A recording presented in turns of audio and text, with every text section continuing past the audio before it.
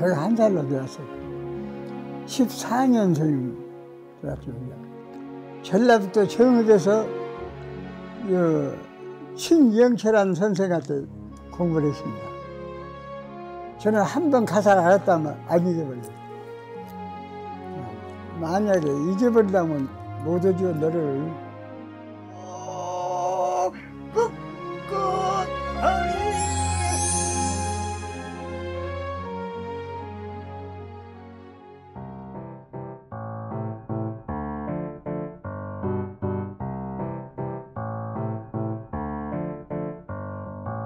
아침에 새벽 3시 반이나 일어나셔가지고 세수하시고 그리고 옷 입으시고 이제 앉아서 노래 노래 부르시고 그리고 하다가 또 이제 아침 드시고 그리고 또 나가셔요.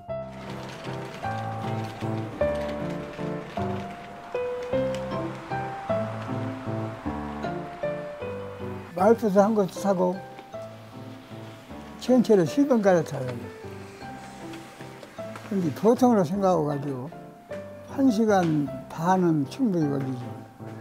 그 일찍 하는 것만으로 저는 그렇게 생각하거든요.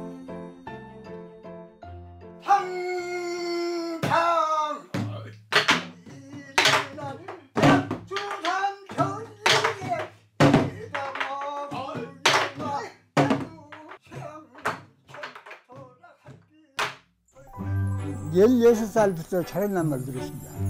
일반부 상 탔죠. 스물여섯 번 나갔어요.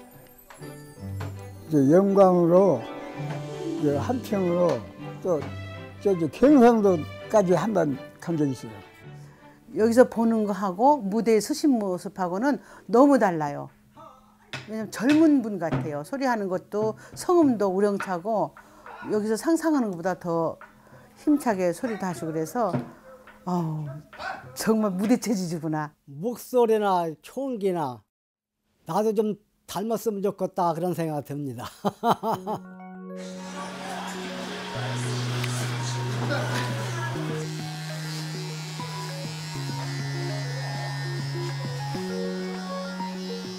네, 마음에 드십니까? 저는 잠바를 입고 다니고 인간이 추워가지고 잠바도 안 입고 활동하시고 누가 백세라고 하냐고 고지를 안 듣기는 말씀하니까 건강 비율은 또 노래로 해가지고 저 건강 같다 비율이 있는 것 같아요. 아이고, 아유, 안녕하세요. 어서 오세요. 먼길 오셨네요. 먼 길 오셨습니다. 네, 네, 네. 네. 안녕하십니까. 네. 그래 저 추워라서 콩고만 게 듣기가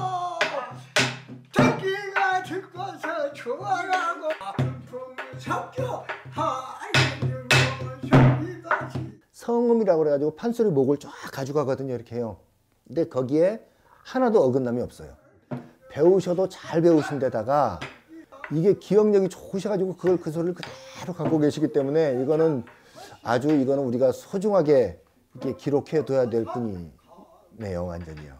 이제 저도 판소리 하는 사람으로서 가장 중요하게 생각하는 게 운동이에요. 신체의 건강도 신경 써야 되고요. 이 뇌 건강도 신경을 써야 되고요. 이래서 소리하는 분들이 더 건강하고 오래 사시고 소리를 그 하시지 않나 그렇게 생각을 합니다.